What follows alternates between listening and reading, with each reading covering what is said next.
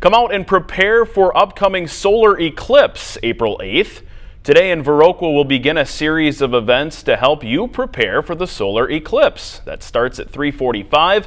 There will be a solar eclipse class for kids to learn more about space science and make art.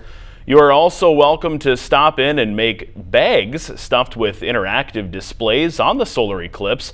And if you still need glasses for viewing, there will be viewing glasses to pick up. Registration is required for the events, and that can be found on the library website. For more information, call the library 608 637 7151.